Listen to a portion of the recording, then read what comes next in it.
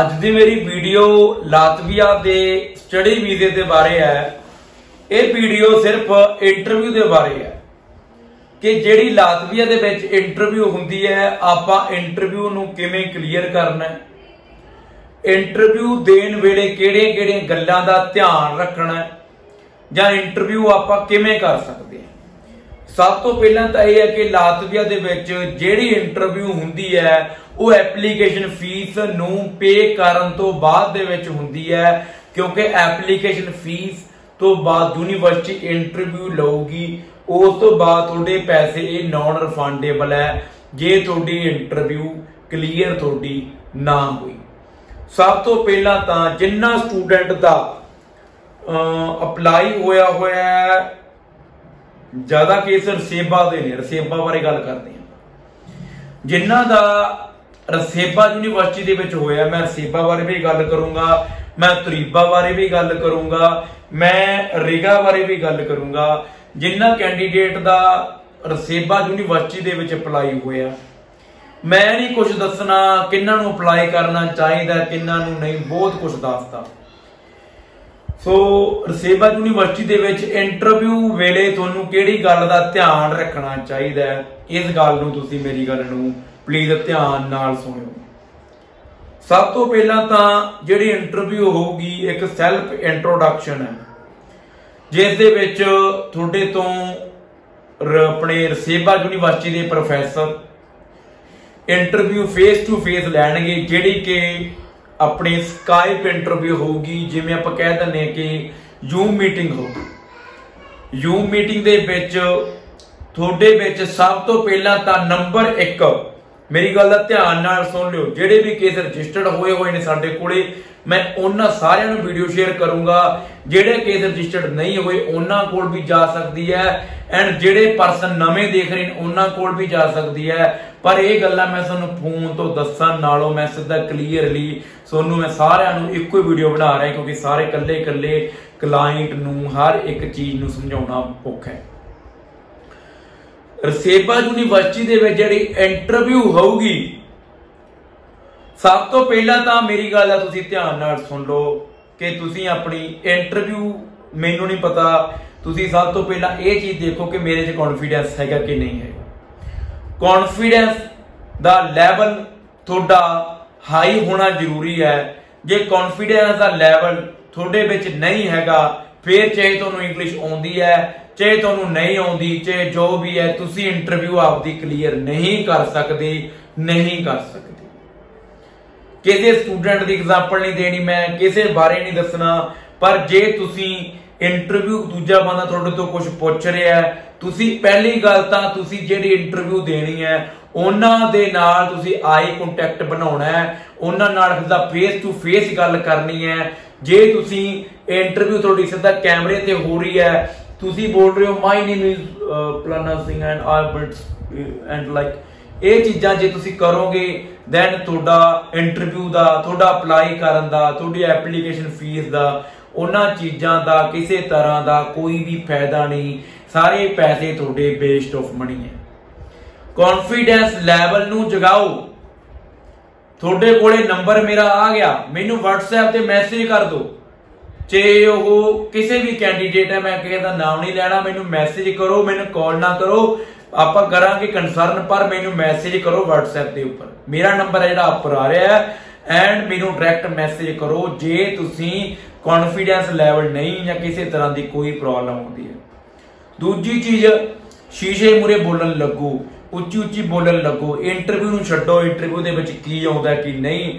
Interview ਦੇ ਵਿੱਚ ਨਹੀਂ ਆਉਂਦਾ। ਛੱਡੋ। ਜਿੰਨਾ ਟਾਈਮ ਤੁਸੀਂ ਆਪਦੇ ਆਪ ਨੂੰ ਨਹੀਂ ਦੱਸ ਸਕਦੇ ਕਿ ਮੈਂ ਕੀ ਚੀਜ਼ ਹੈ ਉਹਨਾਂ ਟਾਈਮ ਤੁਸੀਂ ਇੰਟਰਵਿਊ ਕਲੀਅਰ ਨਹੀਂ ਕਰ ਸਕਦੇ। ਪਹਿਲਾਂ ਤੁਸੀਂ ਸ਼ੀਸ਼ੇ ਵਿੱਚ ਬੋਲਣ ਲੱਗੋ। ਜੇ ਤੁਸੀਂ ਨਿਊਜ਼ਪੇਪਰ ਨਾ ਪੜੋ ਨਿਊਜ਼ਪੇਪਰ ਦੀ ਇੰਗਲਿਸ਼ ਤੁਹਾਨੂੰ ਨਹੀਂ ਸਮਝ ਆਉਣੀ, ਨਾ ਤੁਹਾਨੂੰ ਵਰਡ ਆਉਣੇ ਆ, ਬੜੇ ਔਖੇ ਵਰਡ ਹੈ ਤੁਸੀਂ ਕੀ ਕਰੋ? ਨੈਟ ਤੇ ਕਿਊ ਕਾਰਡ ਕੱਢ ਲਓ। ਇੰਗਲਿਸ਼ ਸਪੀਕਿੰਗ ਦੇ ਬੜੇ ਸੌਖੇ ਹੁੰਦੇ ਆ ਉਹ। ਸੋ ਉਹਦੇ ਵਿੱਚ ਕਿਊ ਕਾਰਡ ਵਗੈਰਾ ਪੜੋ ਉਹ ਚੀਜ਼ਾਂ ਸੌਖੀਆਂ ਤੁਹਾਨੂੰ ਤੁਹਾਡੇ ਇੰਗਲਿਸ਼ ਤੁਹਾਡੀ ਇੰਗਲਿਸ਼ ਦੀ ਟੰਗ ਉਹਦੇ ਨਾਲ ਬੜਾ ਟੰਗ ਟਵਿਸਟ ਹੋ ਜੂਗੀ ਤੁਹਾਡੀ।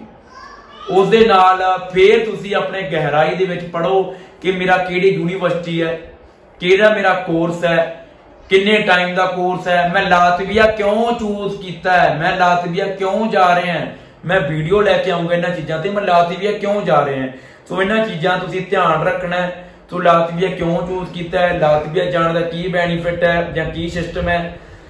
ਤੇ ਉਸ ਤੋਂ ਬਾਅਦ ਤੁਸੀਂ ਇਹ ਚੀਜ਼ਾਂ ਕਰਕੇ ਇੰਟਰਵਿਊ ਤੁਹਾਡੀ ਮੈਂ ਦੱਸ ਦਿੰਦਾ, ਮੈਂ ਨੈਕਸਟ ਵੀਡੀਓ ਲੈ ਕੇ ਆਉਂਗਾ। ਪ੍ਰੋਪਰ ਨੈਕਸਟ ਵੀਡੀਓ ਲੈ ਕੇ ਆਉਂਗਾ ਕੀ ਕੀ ਕੁਝ ਤੁਸੀਂ ਤਿਆਰੀ ਕਰਨੀ ਹੈ। ਤੁਸੀਂ ਸਭ ਤੋਂ ਪਹਿਲਾਂ ਬਸ ਆਪਣੀ ਕੌਨਫੀਡੈਂਸ ਲੈਵਲ ਰੱਖੋ ਤੁਹਾਡੀ ਜਿਹੜੀ ਇੰਟਰਵਿਊ ਆਊਗੀ, ਪਹਿਲਾਂ ਫੇਸ ਟੂ ਫੇਸ ਆਊਗੀ 5 ਤੋਂ ਲੈ ਕੇ 10 ਮਿੰਟ ਦੀ। ਉਹਦੇ ਵਿੱਚ ਤੁਹਾਨੂੰ ਪੁੱਛਣਗੇ why choose Latvia and family member ਕਿੰਨੇ ਆ? ਜਾਂ ਤੁਸੀਂ ਕਿਉਂ ਜਾਣਾ ਲਾਤਵੀਆ ਤੁਸੀਂ ਦੱਸ ਦੋਗੇ। ਉਸ ਤੋਂ ਬਾਅਦ ਕੈਂਬਰੇ ਦਾ ਐਗਜ਼ਾਮ ਹੋਊਗਾ। ਉਹ ਵੀ ਤੁਹਾਨੂੰ ਮੈਂ ਐਕਸਪਲੇਨ ਪ੍ਰੋਪਰ ਦੱਸੂਗਾ। ਉਸ ਦੇ ਬਾਰੇ ਮੈਂ ਤੁਹਾਨੂੰ ਵੈਸੇ ਫੋਨ ਤੇ ਸਾਰਾ ਕੁਝ ਸਮਝਾਇਆ ਹੋਇਆ ਹੈ ਕਿ ਕੈਮਰੇ ਦਾ ਐਗਜ਼ਾਮ ਹੋਊਗਾ। ਉਸ ਦੇ ਵਿੱਚ ਵੈਬ ਕੈਮਰਾ ਔਨ ਹੁੰਦਾ ਹੈ।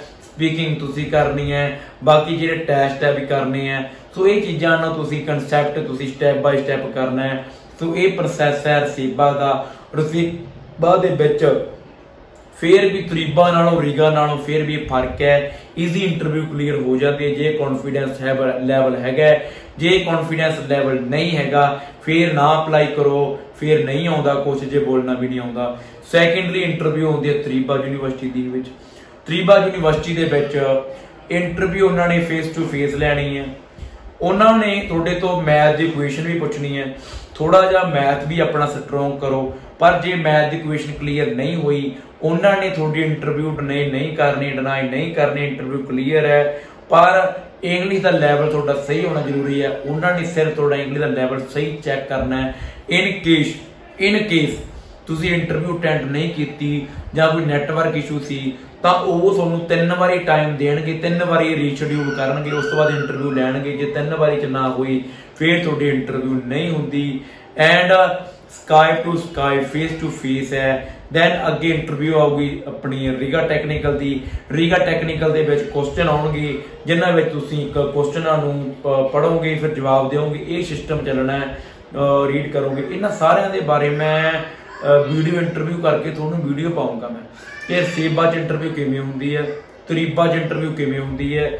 ਤੇ ਰੀਗਾ ਚ ਕਿਵੇਂ ਹੁੰਦੀ ਹੈ? ਤੁਸੀਂ ਇਹ ਨਾ ਕਹੋ ਕਿ ਰੀਗਾ ਤੇ ਜਿਵੇਂ ਛੋਟਾ ਛੱਡਦਾ ਰੀਗਾ ਚ ਛੋਟਾ ਜਿਹਾ ਸਿੰਪਲ ਕੀ ਕੁਐਸਚਨ ਹੁੰਦੇ ਕੁਐਸਚਨ ਬੋਲ ਕੇ ਦੱਸਣਾ।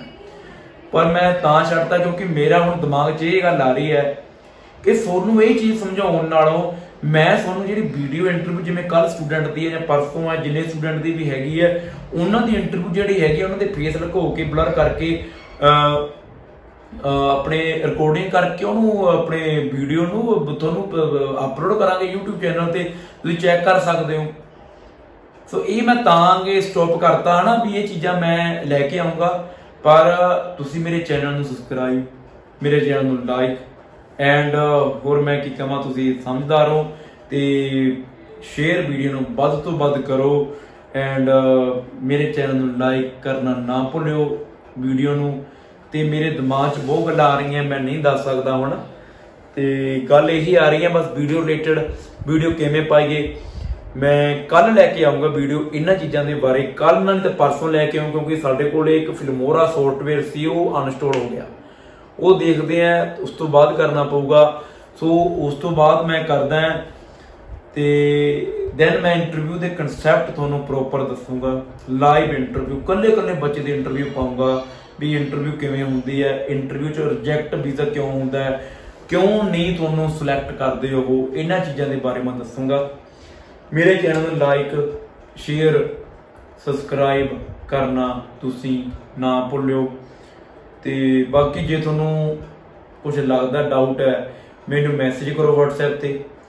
ਮੈਨੂੰ WhatsApp ਨਾਲ ਡਾਇਰੈਕਟ ਕਾਲ ਕਰ ਦਿਓ। WhatsApp ਤੇ ਮੈਸੇਜ ਨਾ ਕਰਿਓ। ਪਰ ਜਿੰਨਾ ਕੇਸਾਂ ਦਾ ਕਲਾਇੰਟ ਰਜਿਸਟਰਡ ਹੈ, ਉਹ ਚਲੋ ਜਿਵੇਂ ਤੁਹਾਨੂੰ ਸਹੀ ਲੱਗੇ ਕਾਲ ਕਰ ਲਿਓ। ਤੇ ਇਸ ਦੇ ਨਾਲ ਨਾਲ ਕਮੈਂਟ ਕਰ ਦਿਓ, ਜਿਹੜੇ ਕੈਂਡੀਡੇਟ ਰਜਿਸਟਰਡ ਨਹੀਂ ਹੋਏ। ਠੀਕ ਹੈ? ਸੋ ਬਾਕੀ ਤੁਹਾਨੂੰ ਪਤਾ ਹੈ। ਸੋ ਬਹੁਤ ਬਹੁਤ ਧੰਨਵਾਦ ਤੁਹਾਡਾ ਮੇਰੀ ਵੀਡੀਓ ਨੂੰ ਦੇਖਣ ਲਈ। ਸਤਿ ਸ਼੍ਰੀ ਅਕਾਲ।